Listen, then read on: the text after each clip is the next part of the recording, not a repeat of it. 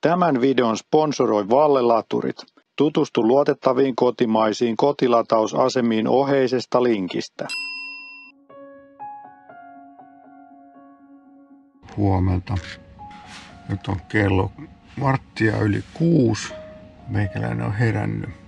Tää on ihan kyllä tilava nukkuu, ei sillä lailla, tää on suora tää pohja, että sillä ei niinku mitään valittamista, mutta tää viettää vähän tonne alaspäin. On, voi olla 50 senttiä tää korkeusero jalka ja pään osan välillä sitä valuu sitten tonne alaspäin koko ajan. Että jos niinku on mahdollista, niin joku pienee yläväkeä sille, että toi takapää on ylempänä ja, tai sitten jotkut palikat tonne takarenkaiden alle, niin sitten, sitten taas niinku suorasti niin se kyllä vielä parantaisi tätä unta. Lämpötila on ollut tosi hyvä. Mulla oli ykkösellä vaan toi puhallus ja vähän toi ikkuna tosta auki. Ei pöllömpi. Kyllä tässä ihan hyvin mahtuu. Tässä ei ihan mahu istumaan. Meillekin. Se on niin aika tärkeää, että mahtuu istumaan. Eikä muuta kuin aukalle.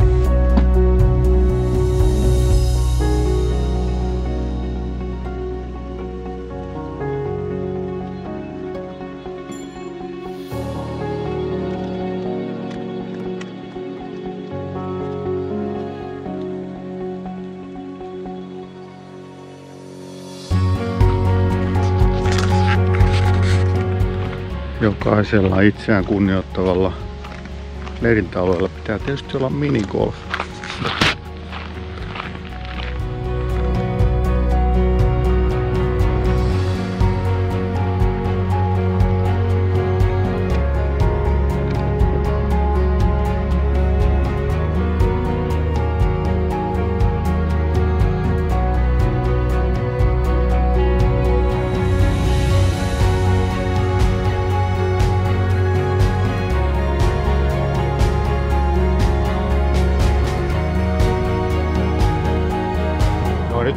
Käyty pikkusen aamukävelyllä tuossa Yyterin beachillä ja oli kyllä hieno aamu jo. Sitten siinä hotellin pihassa, niin siinä oli myös aika monen lauma Ferrareita. Suomen Ferrari-omistajilla oli tällainen kesäajo siinä menossa ja oli yöpynyt tuolla hotellilla ja siinä oli sitten pitkä rivi kivan näköisiä fefejä ja oli siellä yksi semmonen, minkä mäkin voisin ottaa, vaikka mä en yleensä noista hybrideistä niin perusta, mutta hybridithän on siis porttihuume mamiksille, mutta ehkä sen hybridin olisin voinut ottaa. Se oli kyllä aika, aika komeen näköinen ja ilmeisesti myös niin kuin kohtuullisen hintainen, koska se on hybridi. Et sillä nyt ei montaa kymmentä kilometriä pääse sähköllä, mutta verot putoo useamman 100 000. Nyt matka jatkuu sitten kohti Raippaluotoa. Tässä pitäisi olla ihan hyvännäköistä maisemaa vielä matkalla, kun päästään vähän meren ympäri. Siellä lehmiä on laitumella meren rannalla. Aika komeita. Ja yön aikanahan tota akkua kuluu vaan 5 prosenttia. Varmaan sen takia, koska mulla oli vaan se puhallus päällä, mulla ei ollut ilmastointia ollenkaan, eli ei jäähdytystä. Ja ehkä aamulla oli vähän niin kuin lämmin, että olisi voinut pistää sen puhalluksen vaikka kakkosellekin, mutta... No niin, nyt mä ajelen tässä kasitietä kohti Vaasaa ja täytyy sanoa, että tämä tie on kyllä aika huonossa kunnossa. Tämä on kuitenkin niin kuin yksi tällaisista pääteistä ja täällä on hirveitä reikiä tiessä vähän hirvittää, että koska se jysähtää vanne paskaksi tai rengas paskaksi. Nämä on kuitenkin sen verran matala profiiliset nämä Perfin vanteet ja renkaat. Mutta tuossa oli kiva tietä, kun lähdin tulemaan sieltä pohjoiseen sieltä Yyteristä, niin Merikarvialle päin, niin siinä oli sellaista pikkutietä.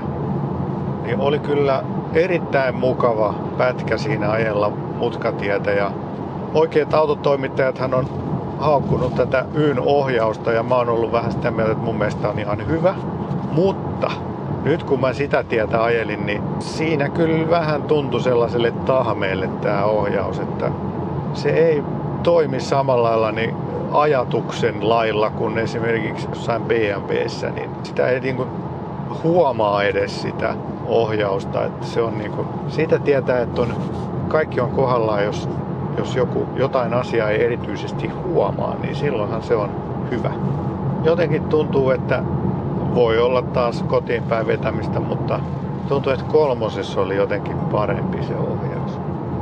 Mutta tarkennuksena nyt vielä, että ei tämä mikään katastrofi suinkaan ole tämä. Ihan arkia jossain niin menee ihan täydestä, ei mitään ongelmaa. Nämä on nyt tällaisia pieniä hiuksen hienoja eroja, joita sitten alkaa huomaamaan, ajelee useampia autoja peräkkäin.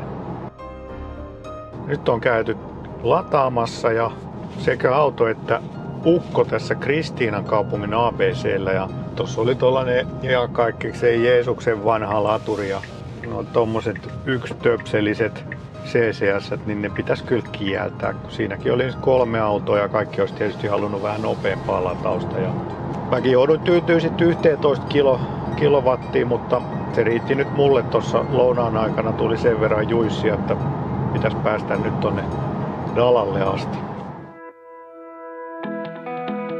Muutama sananen tästä Teslan autopilotista, jota monet ylistää, mutta mä en nyt kyllä voi sanoa, että tämä olisi ihan kirkkainta kärkeä ainakaan tällä hetkellä, mitä se nyt on. Koska ensinnäkin niin kun tulee noita levennyksiä kaistalle, niin tämä alkaa arpomaan, että mihin nyt mennään, kumpaa viivaa seurataan. Sitten tulee sellainen epävarma olo heti, että nyt ei ole ehkä ihan kaikki hallinnassa. Toinen juttu on esimerkiksi nyt tässä, kun on tällainen huono tie ja tässä on paljon raiteen kohdalla näitä kuoppia tai koloja, niin tähän ei salli minkäänlaista ohjailua kuljettajalta silloin, kun autopilotti on päällä. Vaan se sitten hyppää heti pois, jos yrittäisi vaikka vähän mennä pikkusen kaistan oikeimmassa reunassa, niin sehän suuttuu heti, että minä en sitten toimi ollenkaan. Ja sitten se, että mä oon ajanut koko matkan käsi tässä ratilla. Ja eilen kävi niin, että tätä rattia pitäisi niinku pikkusen heiluttaa aina välillä, silloin kun autopilotti on päällä. Sitä pitäisi vähän heiluttaa, mutta ei kuitenkaan liikaa, ettei se mene pois päältä. Mutta jos et sä heiluta riittävästi, eli pelkästään käden leputtaminen ei aina riitä siinä ratilla, koska tämä ei ole kapasitiivinen tämä tunnistus, vaan se ottaa siitä jotenkin, ottaako se jostain voimasta tai kääntökulmasta, mutta se on enemmän sellainen robusti se tunnistus. Mutta kuitenkin, jos ei se tunnista, että käsi on ratilla ja et heti reagoi siihen hälytykseen, niin sehän antaa sulle penaltia. Ja sen jälkeen autopilotti ei toimi, kunnes olet pysäyttänyt auto ja noussut pois autosta ja sitten lähdet taas uudestaan matkaan, niin sitten se toimii. Ja myös sitten tuossa motorilla, kun on kaistanvaihtoja, niin se on vähän semmoinen aina kulmikas se siirtyminen autopilotilta kuljettajalle se siirto, niin, ja siinä aina tulee sitten nämä piipitykset päälle ja pois. Ne, ne alkaa pikkuhiljaa ärsyttää, kun niitä limpotuksia kuuntelee tarpeeksi kauan. Esimerkiksi Mersussa se toimi kuin ajatus. Se ei tarvinnut mitenkään erityisesti niin kuin ottaa päälle tai pois. Se oli niin kuin aina siellä taustalla ja kuljettaja pystyi siinä valitsemaan vähän paikkaa kaistalla. Että se ei ollut vaan se, minkä autopilotti valitsee. Mutta silti tämä on parempi kuin ei mitään. Mutta en mä nyt sanoisi, että tämä on nyt mitenkään tällä hetkellä se, mitä nyt on asiakkaiden käytettävissä, niin mitään keihään kärkeä tässä kohtaa. Toivottavasti se full self-driving tulee joskus Eurooppaakin, niin se on sitten varmasti jotain taas monta, monta vuotta edellä muita.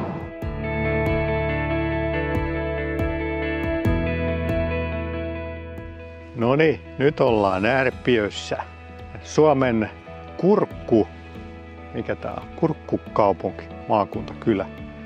No on Suomen kurkkupääkaupunki. Siellä taustalla näkyy valtavia kasvihuoneita, jossa nyt sitten kurkkuja ja varmaan tomaatteja myöskin viljellään.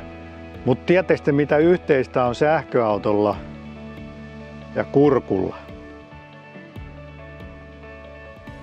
Laittakaa tuohon kommenttikenttään, mitä yhteistä niillä on.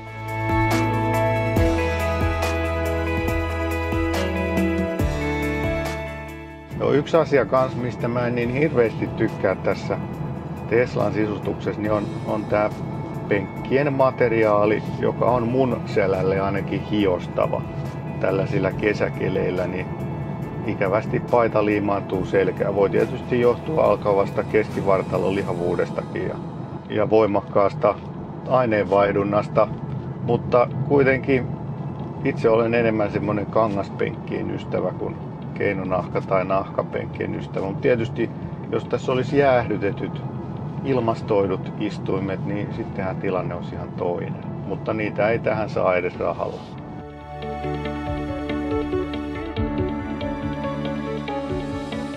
Nyt ollaan täällä Jalasjärvellä juustoportilla lataamassa superilla. Päästiin tänne hyvin Dalan aurinkomehuilla. Sieltä Dalan aurinkopaneeleista tuli Kempoverin T-sarjalaisen kautta kivasti 20 kilowattia DC-latausta sillä aikaa kun kuvailtiin, niin mä pääsin nyt sillä sitten tänne. Kiitos vaan Dalalle sähköistä. Ja tähän lähti jostain latausnopeus jostain 140 kilowattista ja nyt 74 kohdalla on 68 kilowattia. Ihan hyvällä nopeudella tulee vieläkin. Mulla ei tässä nyt onneksi enää kuin kolme varttia tonne matkaa sitten tonne kohteeseen vanhempien luokse, jonne menen yöksi. Ja äiti siellä jo kovasti odottelee, että moneltako laitetaan ruoka tyypilliseen tapaansa. Äidit huolehtii. Tää on nyt tällaista, tällaista pohjanmaalaista, pohjan, mitä tää on? Tyypillistä maisemaa Pohjanmaalla. Tasasta on ja sianpaska haisee.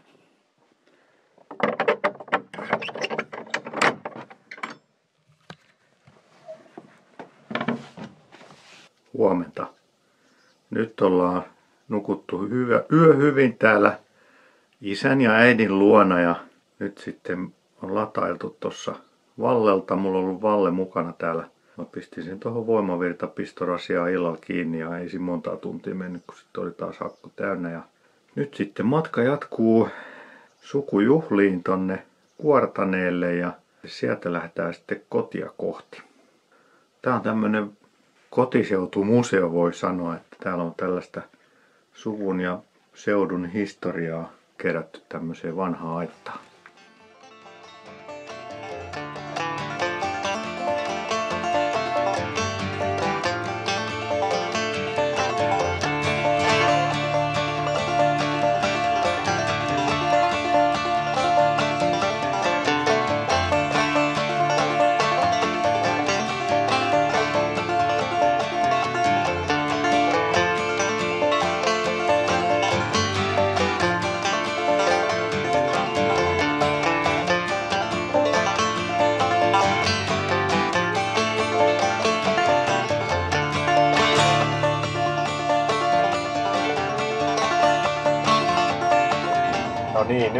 Sukujuhlat juhlittu ja kotimatka on alkanut kohti etelää. Ja tää mun reitti kulkee nyt tällaisen keltaisen ison pytingin ohi tästä tuurista. Eli maailman suurimman kyläkaupan ohi. Ja täällä on ilmeisesti hotellia ja kauppakeskusta tietysti ja miljoona ravintolaa ja miljoona tivolia, vaikka mitä miljoonaa. Mutta tällä kertaa jätän käymättä nyt miljoona paikassa. Säästän miljoonan, kun en mene sinne. Mutta onhan tää aikamoinen kompleksi. Tulee vähän Las Vegas mieleen, tässä on jotain samaa.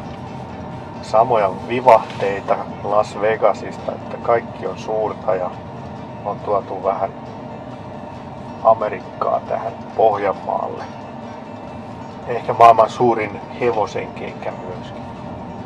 Tästä matka jatkuu nyt sitten kohti Jyväskylän Superchargeria sinne on 133 kilometriä. Sitten sieltä kohti Heinolaa. Nyt on käyty Jyväskylässä tankkaamassa. Siellä olikin aika uuden näköinen superi, enkä muista, että siellä olisin käynytkään vielä latailemassa koskaan. Se oli tällainen V3-mallinen, ihan, ihan uusi superi. Siinä oli tällaiset uudenlaiset kahvatkin. Ja siinä oli auton mukaan 9 minuutin pysähdys, niin mä just ehdin käydä vessassa, niin se oli valmis.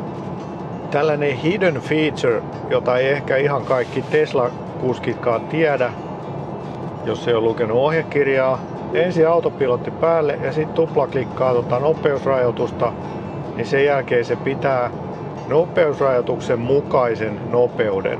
Tietysti jos on täällä valikossa vielä käynyt säätämässä tuon offsetin, mulla nyt on 5 prosenttia tuohon nopeusrajoituksen päälle, niin sitten se pitää aina sen nopeuden. Eli nyt 105 on asetusarvo, eli todellinen nopeus on siinä ehkä just vähän yli 100 sen.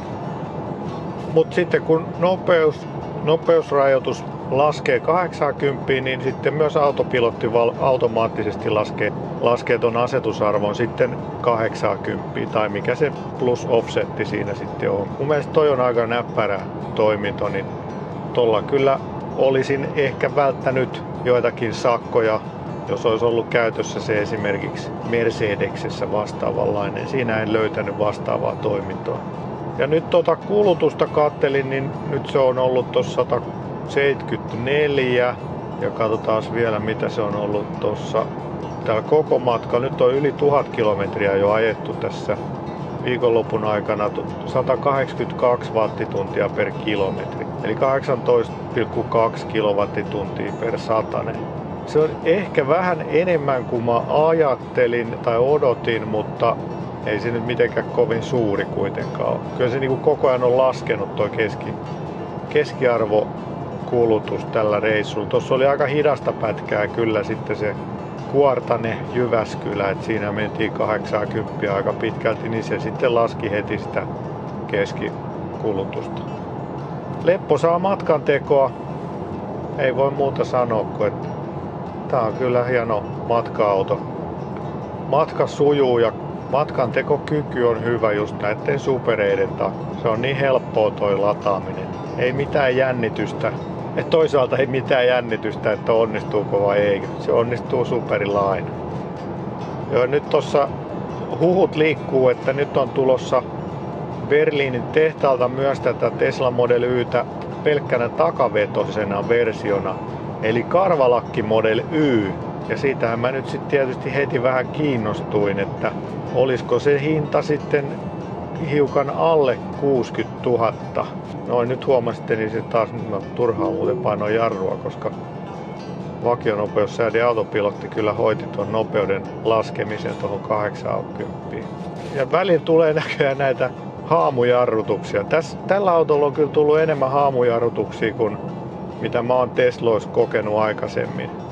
Mä en tiedä johtuuko se siitä, että tää on ihan uusi auto täällä ei joku vielä kalibroitunut vai, vai mistä se johtuu sitten, mutta ei, ei siinä mun Model 3 ollut tällaisia haamujarrut. Vai johtuuko se siitä, että tässä ei ole sitä tutkaa enää, että se pelkästään kameran avulla näkee tai koittaa nähdä noin edessä olevat esteet.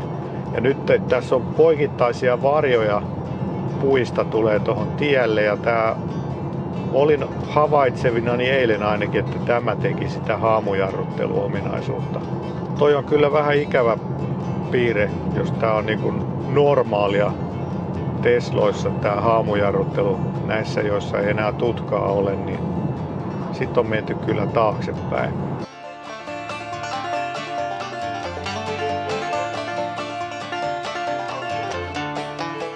Nyt ollaan saavuttu perille tänne Heinolaan, eli viimeinen etappi sieltä Jyväskylästä meni ihan mukavasti. Ja itse asiassa se Jyväskylän lataus saattoi olla vähän turha, koska mulla oli 31 prossaa vielä jäljellä täällä akkua, kun mä pääsin perille. Ja mä latasin siellä Jyväskylässä 20 prossaa, niin ilman välilataustakin mulla olisi ollut se 10 prossaa vielä. Mutta nyt pistin sitten auton täällä heti Valleen lataukseen ja aamulla sitten aikaisin taas viimeinen etappi Heinolasta Vantaalle ja suoraan töihin. Nyt ei muuta kuin saunaa ja nukkumaan. Tuo näkyy muuten sateenkaari.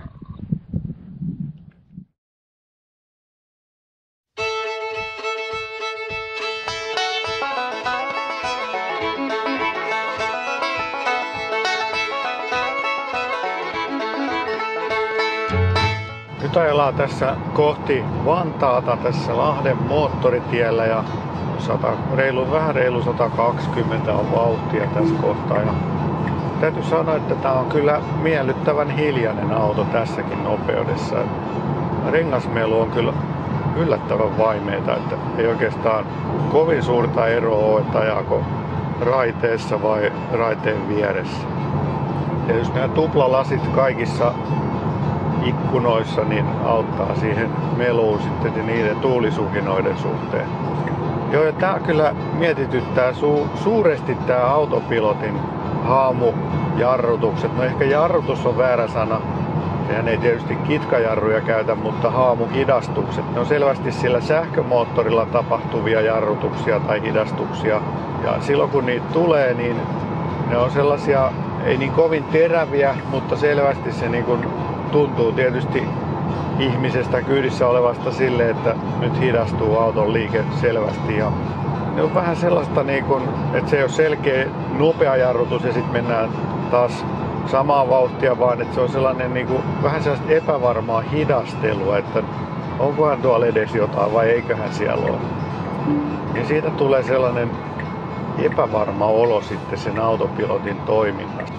Ja tietysti myös toi kaistan vaihto autopilotin kanssa, niin se on vähän niin kuin turhan kulmikasta ja vaatii sitten taas, kun palataan tuosta ohituskaistalta tuolle oikeanpuoleiselle kaistalle, niin sitten se vaatii taas sen autopilotin aktivoinnin tuosta viiksen päästä. Että Tämä on perin kummallista Teslalta, koska Teslan filosofia on aina tehdä kaikki käyttäjälle mahdollisimman helpoksi. Mutta tässä kohtaa nyt kyllä autopilotti jäänyt näille saksalaisille versioille autopilotista.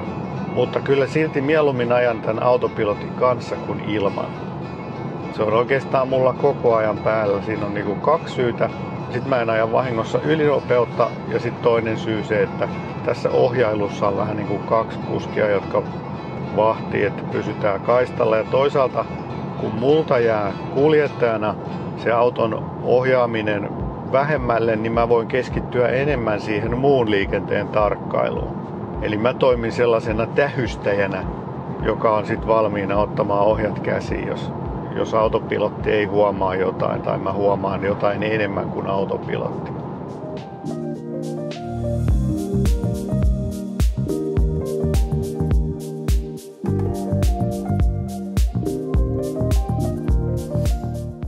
Joo, sitten tästä ohjauksesta tuossa jossain vaiheessa musta tuntuu, että se on aika tahmea se ohjaus, mutta sitten mä muistin, että täällä asetuksissahan on kolme eri asentoa tälle ohjaukselle. Comfort, Standard ja Sportti, ja se oli Sportilla. Ja nyt kun mä oon sit vaihtanut tämän Comfortille, niin nyt tää, on, tää ei enää tahmaa samalla tavalla kuin Sportilla. Et se on jotenkin niin keinotekoisen tuntunen toi ei tämä mitenkään ylitehostettu ole tällä komfortillakaan, että ihan, ihan hyvän tuntunen tämäkin. Mutta nämä on tällaisia pikkujuttuja taas, että nämä ei niinku maailmaa kaada, että nämä on enemmän semmoisia pieniä juttuja, millä nyt jos haluaa niitä eroja löytää autojen välillä, tai täytyy tietysti jotain eroja löytääkin. Nämä on niitä sellaisia ihan pikkujuttuja, mutta mun mielestä nämä ei ole mitenkään niinku showstoppereita tai kaada sitä kauppaa tai autonvaihtoa. Joo, vähän niin kuin haikein mielin tässä nyt taas joutuu tästäkin luopumaan, että tässä viikossa aina ehtii vähän kiintyä näihin autoihin. Ja tää on kyllä kaikin puolin sellainen niin kuin kans hyvin tasapainoinen auto. Ja erityismaininnan saa kyllä tämä tilan käyttö tässä autossa, että tuota tavaratilaa on ihan mahdottoman hyvin, että tuolla takakontissa niin siellä mä tykkään erityisesti niistä parista pienestä kolosta, jotka on siellä takakulmissa ne on niin suuret, että sinne mahtuu kauppakassi tai vaikka reppu. Siellä ne pysyy myös hyvin pystyssä eikä lentele sitten ympäri peräkonttia. Ja tietysti siellä lattian alla on vielä, siellä on varmaan 80 litraa sen sitä piilotilaa ja se on kyllä tosi hyvä. Ja myös siinä etureunassa on sellaista matalampaa, noin 10 sentin tilaa, mihin sitten mahtuu vaikka latauslaitteet hyvin. Plus sitten Frankki tuolla edessä, niin sieltä löytyy vielä muutaman laukun verran, tai, tai sanotaan pari repun verran ja, tai yksi isompi laukku, niin mahtuisi hyvin sinne. Ja sitten myös keskikonsolissa on hyvin tilaa, mun kamerat mahtuu tänne, helposti unohtuukin tänne sitten jotain. Plus lisäksi tietysti kun tässä on vielä se 1600 kilon vetopaino, saa aikamoista kärryä vetää. Ja katollekin sai varmaan laittaa vielä kattotelineen, niin kyllä tässä kuljetuskapasiteettia on aika rajusti tässä autossa. Ja sitten tämä kiihtyvyys. Kyllähän tämä pistää hymyn huulille. Et jos tällainen perhemöhkylä niin kiihtyy tuollaisten superautojen tahtiin, niin kyllähän se aina niin kuin lämmittää. Vaikka ei sitä käyttäiskään, niin se tieto siitä, että tarvittaessa löylyä riittää, niin kyllähän se, niin kuin, se lämmittää sydänalaa. No niin,